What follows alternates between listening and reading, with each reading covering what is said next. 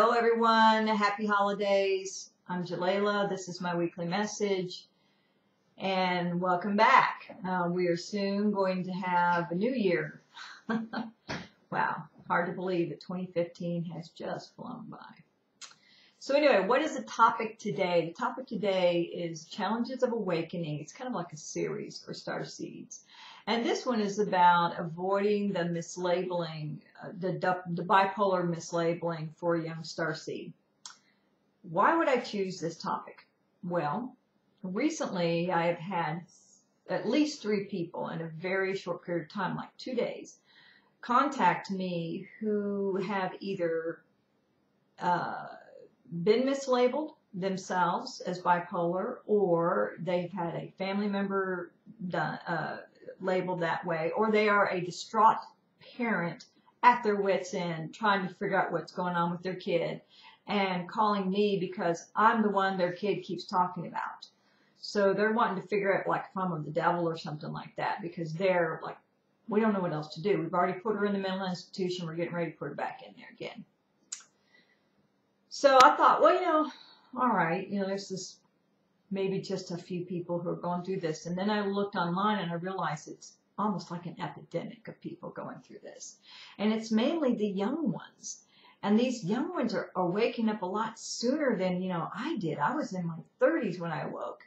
But now they're like 16, 18, 19, still living at home going through an awakening. I'm like, well, Jesus, it was hard enough to do it when I was 30 at least I wasn't living at home under somebody else's rules and belief systems. I could go and forge my own, you know.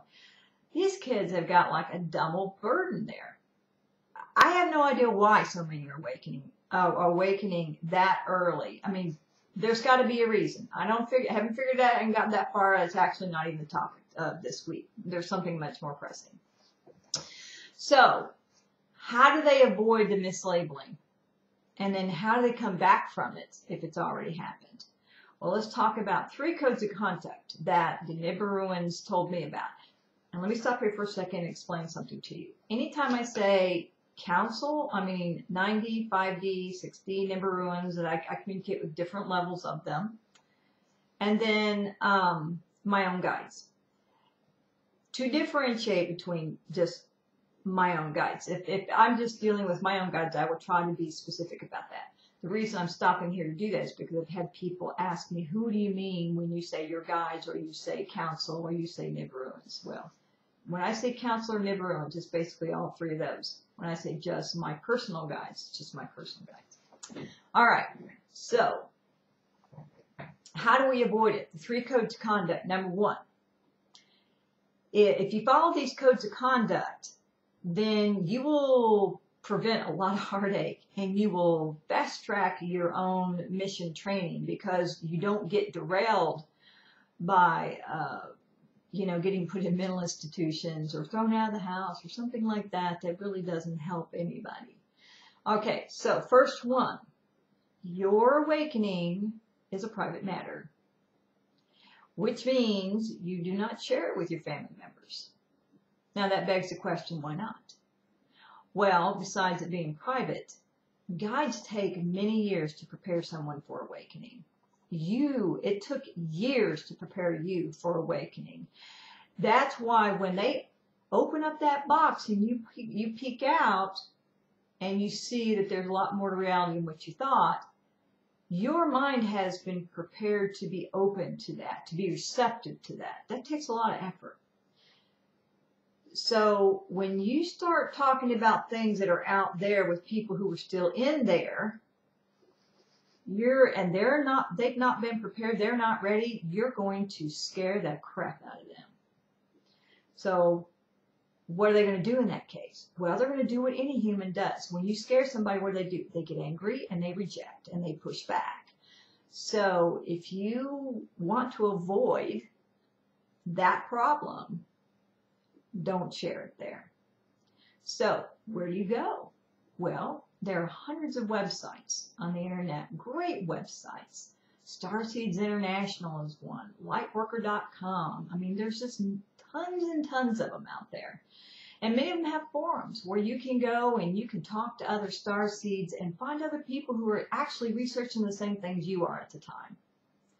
So um, go to those people, people who are already where you are. Go there to get your support for stepping out of the box. Okay, number two, code of conduct is allow your family, I mean, follow what your family asks you to do. Honor their beliefs. Because you're, you're, and this is like three is, is in there as well. You know, um, their beliefs are important to keep, that's the blocks, you know, that's the box that you're, you're stepping out of. They have a contract with you to stay in the box, to stay asleep. Now, why would they do that instead of having a contract with you to wake, to awaken when you did? Because as crazy as awakening is and as scary as awakening can be, because, you know, everybody needs a foundation upon which to build their life. When you start knocking out those props, that's pretty scary. You don't know where to land anymore. It's like walking a tightrope without a net. Well, if everybody in your family started awakening, you would all be flipping out and there'd be nobody to help anybody. So they agreed to stay away, sleep while you awaken so they can create that sense of normalcy that you came out of, kind of like a launch pad for you. So honor that and be appreciative of that by doing one simple thing. Honor their beliefs. Don't try to convert them. Don't try to change them.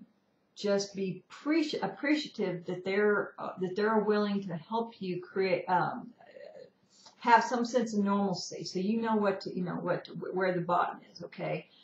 Um, rather than going out there. All right, number three. While you're living at home, honor your parents' wishes. If they wish for you to go to church with them, then go to church with them. You're still living at home. They're still feeding you. They're still clothing you. They're still keeping a roof over your head. As long as they're paying the bills, and you're in their home, live by their rules. Why is this so important in Starseed training? Because your guides watch to see what you do. If you will honor your elders here, you're more likely to honor what your guides are going to need you to do when you start your mission because you give benefit of the doubt to the authorities in your life. Your guides are never going to excuse me, they're never going to tell you what to do, but they're going to guide you along. And you've got to have faith and give them the benefit of the doubt. If you can't do that with people you can see, touch, and feel, how well you're going to do it with them. So, and, and, you know, to some degree, how well you advance depends on how well you can master that being a young star seed, still living at home. So those three things. Number one, your, your your awakening is private to you. Keep it to yourself. Don't share it with your family. Honor their beliefs, and and as long as you're living at home, do as your parents ask you to do. Now, if you have already been labeled and you've already been in and out of a psych ward, um, then there's a way to come back from that. Number one, go back over what I just shared, and you'll realize that I know that even though your intentions were good to try to awaken them, you scared them. And then they pushed back, which that's what they would normally do. Go back and apologize. I'm sorry, I, I didn't, wasn't intending to do that, but I realized I scared you guys, and, and I really do need to honor what you asked me to do as long as I'm here. Do that, calm the fires, get everybody cool, and then you can move forward. So keep these things in mind. We need you. We don't need you derailed. You've got work ahead of you. There's a reason that they are preparing you early.